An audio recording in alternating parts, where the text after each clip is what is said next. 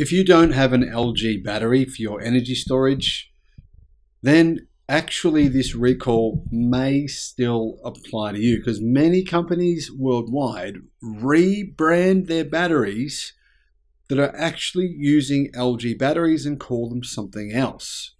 There has been a recall, though, a pretty urgent one, asking people who have a storage battery to basically turn it off immediately because they are prone to fires. Now, when I say they're prone to fires, unfortunately, this type of battery chemistry and this type of battery made by LG Energy Solutions is extremely prone to fires.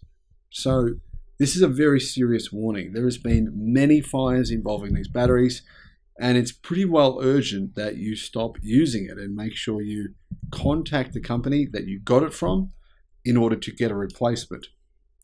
Hello, my friends. Welcome to the channel. I'm Sam Evans. You're watching The Electric Viking. I reported on this same issue last year.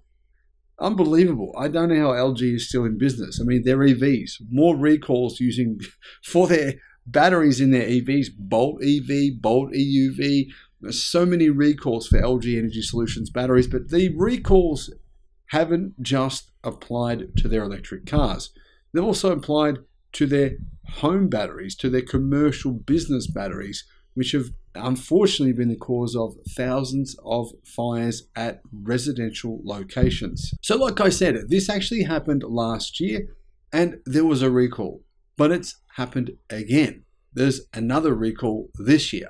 There is an urgent recall on LG solar storage system batteries, but a lot of them aren't branded as LG. So you might think, oh know I'm fine, it's, I don't have an LG battery, but make sure you check who actually manufactures your cells. All Aussie households and a couple of other countries as well, I believe, with a solar storage system are being urged to check if their systems have had a recall on the batteries or if their batteries are manufactured, the cells are manufactured by LG Energy Solutions, who are a South Korean battery manufacturer, but they do make batteries now in the United States and China as well. Residents who find the battery should switch off affected batteries immediately, say uh, basically fire brigades and governments.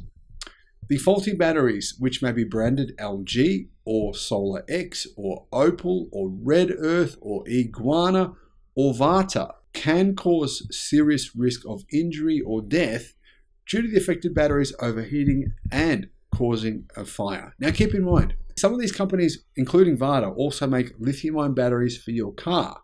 The 12 volt battery you may use for your internal combustion engine vehicle, it may be a lithium one. Like you, whoever you bought the car from might have replaced it with a lithium battery. That's possible, and those have been recalled as well. It is critically important that anyone with a solar energy storage system checks their battery serial number as this recall has been updated to include new models, affected systems, and dates of manufacture, said the ACCC Deputy Chair Katrina Lowe. Even if you don't have an LG branded solar storage system, you may still have an LG branded battery that has been recalled. You just don't know that it is actually LG.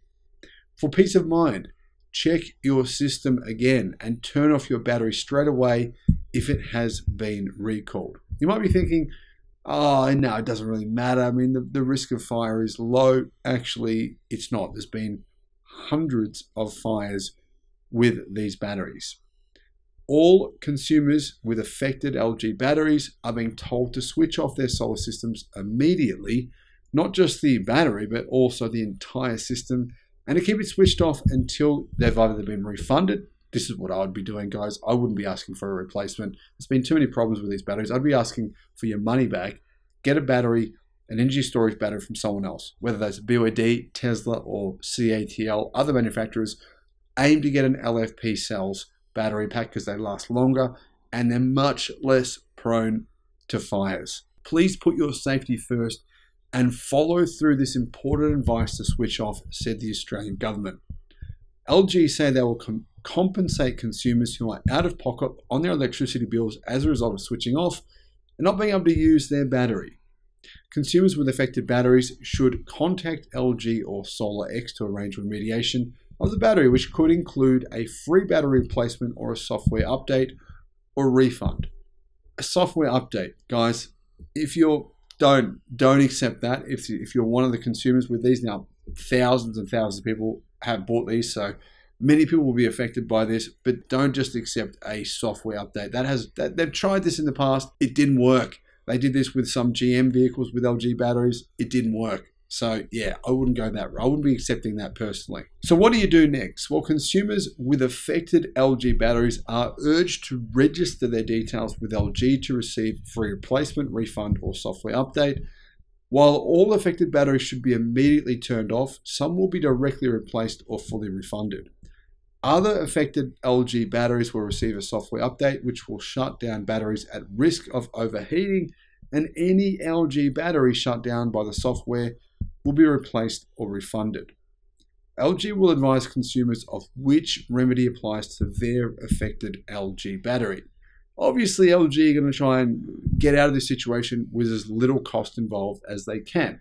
Keep in mind, the recall with General Motors for LG battery packs in the Bolt and the Bolt EV cost the company over $1 billion. That's only that recall. That doesn't include all the other recalls they've had for their batteries, which have cost them billions of dollars. LG, though, will provide financial compensation, they say, to consumers who have higher electricity bills as a result of not being able to use their batteries. Now, hopefully, you weren't one of the people who has had a fire at your home. Um, I don't know why, but the media hasn't really reported on this. There's been hundreds of fires in people's homes as a result of these faulty battery packs. And actually, I have to admit, this stuff does actually quite annoy me because it gives batteries a bad name. There's many companies worldwide that make batteries that are incredibly unlikely for home storage or EVs to catch fire.